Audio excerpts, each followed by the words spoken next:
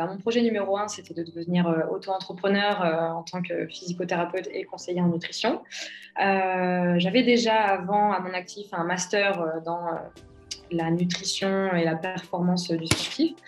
Mais c'était pour moi l'occasion aussi de refaire le point sur euh, des connaissances globales en termes de nutrition, diététique, euh, voilà, qui, me manquaient à ce jour pour être euh, vraiment opérationnel dans, mon métier. L'avantage que je tire de cette formation principalement, c'est un accompagnement à long terme.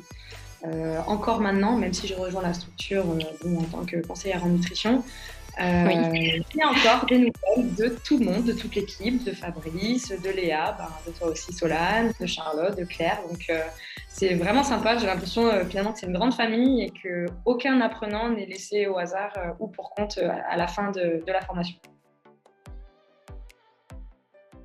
M'a permis de refaire encore une fois le point, de clarifier certaines choses. ça m'a permis aussi ben, de rencontrer d'autres acteurs euh, ben, de la nutrition et d'aller toujours plus loin en termes de connaissances, notamment euh, par rapport au docteur Yann Rogier.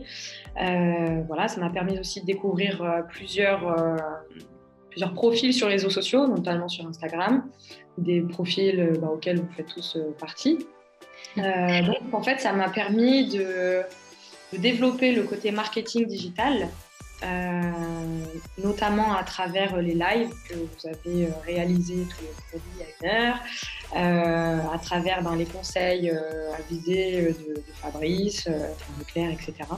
Donc, je pense que c'est vraiment l'accompagnement et le suivi qui a joué là-dedans et, l'aide, ouais, la disponibilité des équipes qui répondent toujours présent dès qu'on a une question ou un petit pépin, euh, quel qu'il soit. Euh, donc vraiment la disponibilité euh, des équipes. les contenus voilà, qui durent en général 5 ou 6 minutes, pas plus.